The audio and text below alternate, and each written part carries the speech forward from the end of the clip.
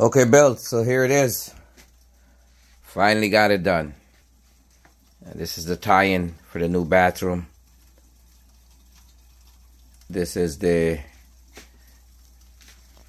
the routing for the waste line.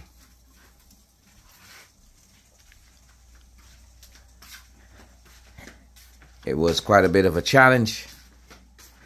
In no ways could I have done this single-handedly.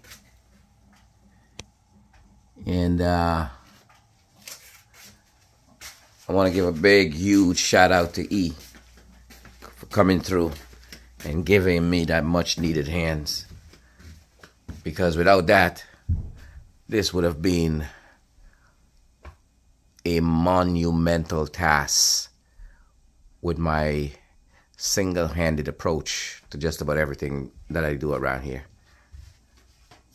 But, uh, it was a huge, huge.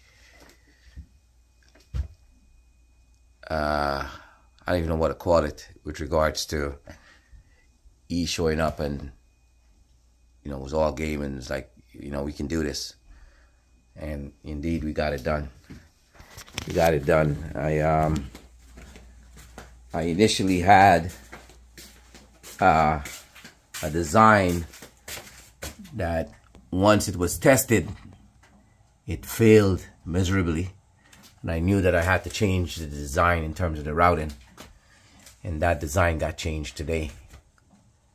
We tested it, water tested it, balls tested it. I'm not sure if you guys know what I mean by the balls tested, but what you do is uh, you you lose these tennis balls down your pipes. Once it's done, to see what flow and pitch looks like. And we were able to do the dry balls. We were able to do the balls with water. And then we were able to do the water tests.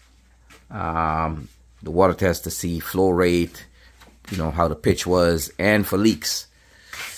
And I can report to you, it was an astounding success.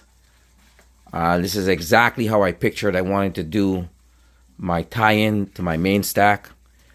It came out exactly the way I pictured it. Um, you're going to have a lot of behind the scenes of what happened. Well, a little bit of behind the scenes of what happened and how this was all accomplished. Us plus build. You know what we do. You know.